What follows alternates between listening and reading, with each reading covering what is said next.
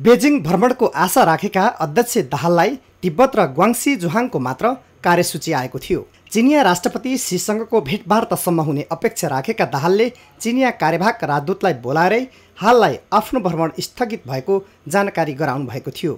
अध्यक्षकै स्तरमा हुन लागेको यो भ्रमण हाललाई स्थगित भए पनि नेकपाका नेताहरूको चीन भ्रमण बाक्लिएको छ।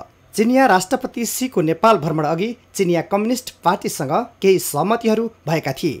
गत असोज सातमा दुवै देशका आपसी मित्रतालाई थप विस्तार गर्दै वैचारिक र दुवै पार्टीका सिद्धान्तलाई जानकारी गराउन आपसी हित र सहयोगका लागि अगाडि बढ्ने छ बुधे सम्झौता भएको थियो।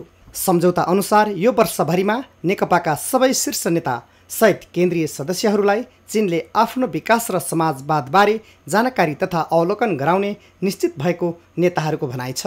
यो नेकपाका नेताहरू कार्यकर्ताहरू मात्रै होइन अरूहरूलाई पनि उनीहरूले बोलाइरहेका छन् लगिरहेका छन्। यो सङ्ख्या अहिले यसचोटि अलिक ठुलो नेकपाको जाँदैछ त्यो फरक कुरा भयो। उनीहरूले अलि खास गरिकन नेकपाको केन्द्रीय तहको नेताहरूलाई सबैलाई नै एकचोटि हाम्रो देश देखाउँछौँ भन्ने चाहना राखेका छन्। चिनसँग सामिप्यता बढाएर हामी चाहिँ त्यो देशको चाहिँ जुन खालको व्यवस्था छ त्यही अनुसारको यहाँ गरे भन्ने कुरा पनि होइन। त्यसले कुनै अर्थ पनि रहँदैन तर त्यहाँको डेभलपमेन्टलाई हामी सेयर गर्नको निम्ति जरुरी छ भन्ने हामीलाई लागेको छ। त्यस कारणले त्यही अनुसार चाहिँ हामी सेयर गरेका हौँ। तर त्यहाँको व्यवस्था र यहाँको व्यवस्थामा त्यसलाई तुलना गरेर त्यसपछि भोलिका दिनमा अरू केन्द्रीकृत सरकार बनाउने भनेको चाहिँ यो बिल्कुल होइन। यो चाहिँ अब कल्पनै नगर्दा हुन्छ। र सँगसँगै के भने त्यहाँको विकासलाई हामी अब यो नेपालमा आफ्नो मोडेलमा कसरी ल्याउन सक्छौँ? हामी आफ्नो यो मुलुकको अवस्थामा कसरी ढाल्न सक्छौँ भन्ने विषयमा अलि अनुभव चाहिँ सेयर गरेको मात्रै कुरा हो। राजनीतिका जानकारहरूले चिनिया प्रभाव नेपालमा बढेको बताएका छन्। उनीहरूले नेताहरूले चिनिया पद्धतिको विकासबारे सिके पनि त्यहाँको केन्द्रीकृत शासन नेपालमा नमुना नहुने बताएका छन्। प्रभाव बढ्दो छ तर के भने प्रभाव बढ्दो छ ठिकै छ।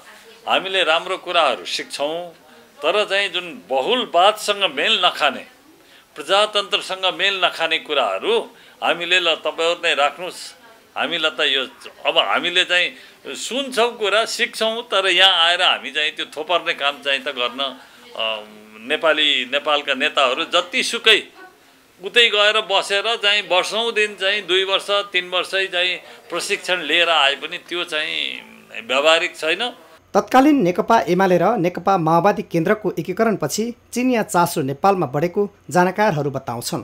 तर नेपालको राजनीतिक पद्धतिमा चिन हाबी नहुने कतिपयको निष्कर्ष छ। क्यामेरामा श्यामहरी पुडा सैनिकका साथ टिभी जर्नलिस्ट हेमराज खड्का काठमाडौँ।